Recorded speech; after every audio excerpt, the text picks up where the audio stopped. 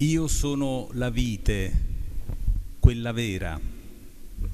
Se nel primo testamento e in tutta la tradizione profetica è Dio ad avere una vigna che simboleggia Israele, qui è Gesù che afferma di sé di essere la vite e noi siamo i tralci. Come a dire la vite e i tralci che tra lui e noi scorre la stessa linfa vitale. Si tratta, a ben pensarci, di un'unione più stretta di quella tra una madre e il proprio figlio che porta in grembo.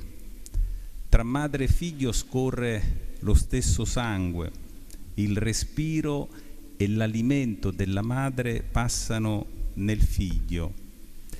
Ma il figlio non muore se si distacca dalla madre, anzi è necessario che al termine della gestazione avvenga questo distacco.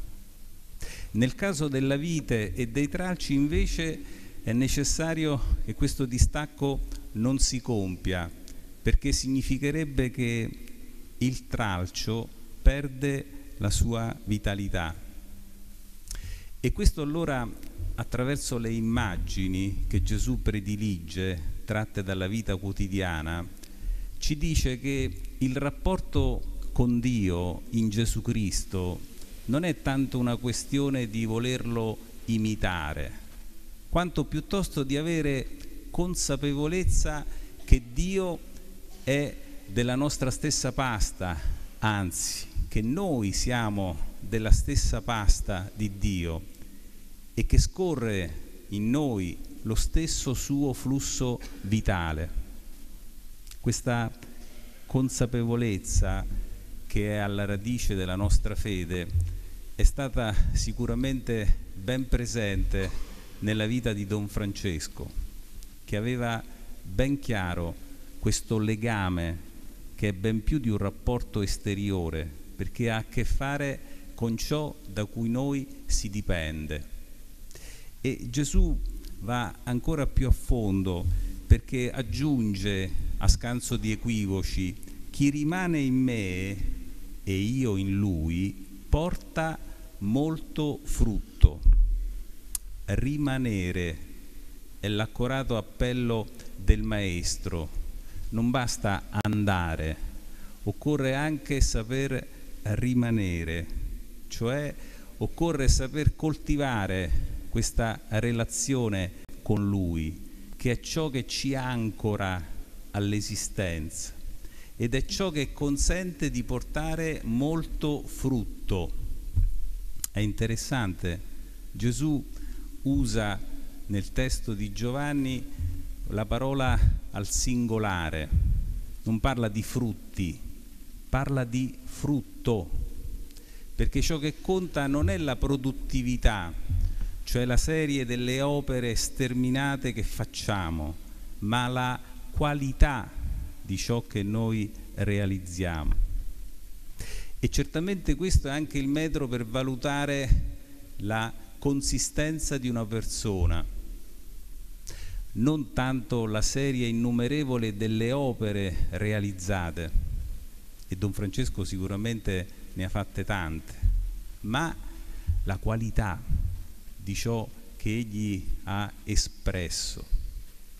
Perché se Dio talora sembra scomparso dal nostro orizzonte quotidiano, è perché noi sedicenti credenti non sempre riusciamo a dare a vedere questo frutto, cioè questa qualità che si irradia intorno a noi.